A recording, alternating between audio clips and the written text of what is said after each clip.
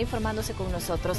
A 27 años ya de haber finalizado el conflicto armado, aún está pendiente la tarea de los acuerdos de paz sobre reunificar y reconciliar a la sociedad salvadoreña. De esto hablaremos hoy en nuestro tema del día.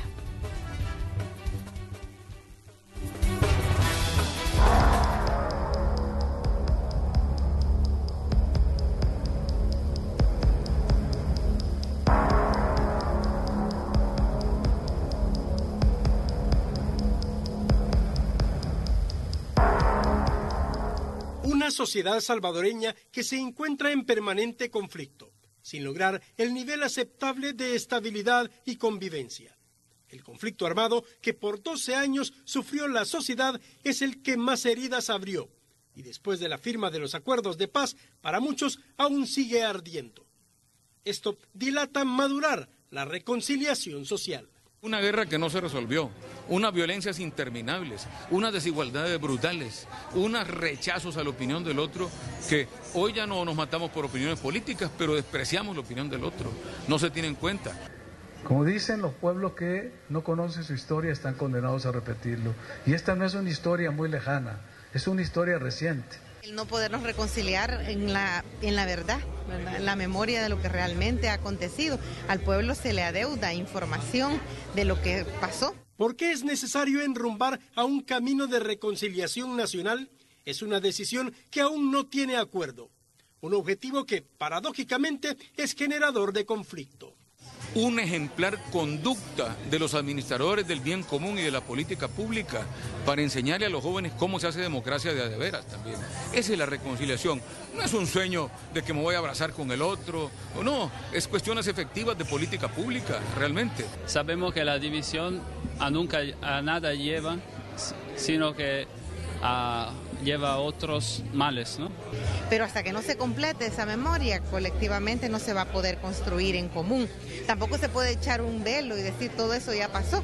¿verdad? Se tiene que construir sobre verdad. De lo que no hay dudas es que la reconciliación es necesaria para que la sociedad avance. Una sociedad no puede avanzar si no existe una reconciliación. Pero claro, para llegar a esa reconciliación también se tiene que conocer la verdad y también eh, debería de hacerse, tiene que haber justicia. En una sociedad donde queremos reconciliación se necesita la paz y, la, que llega de la justicia.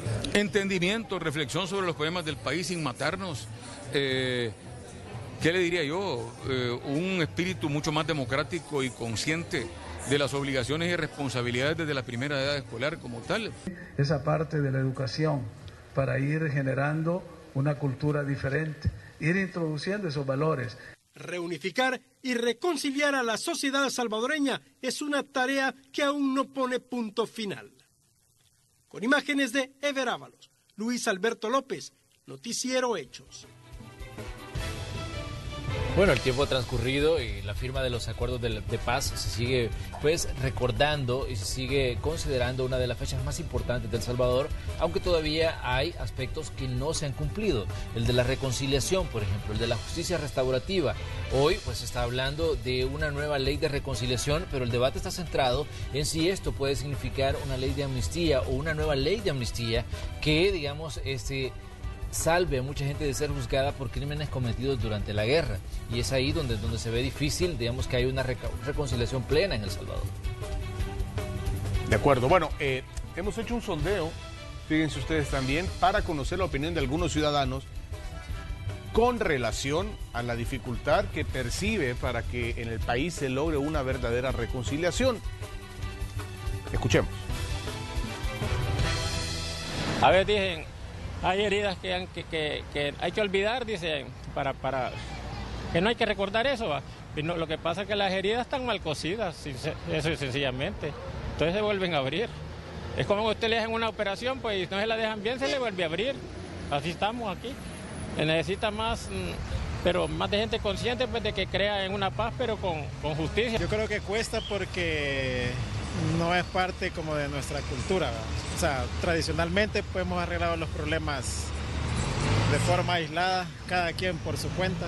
Quizás todo es parte de cultura también y, que somos soberbios. O sea, nos falta bastante para llegar al conocimiento pleno, pues. de las cosas.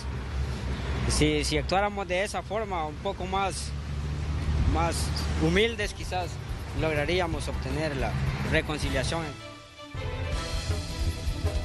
Bien, ahí tenemos las opiniones de los ciudadanos sobre este, este tema, el de la reconciliación y realmente el proceso que todavía le falta avanzar a El Salvador en la consolidación también de su proceso democrático.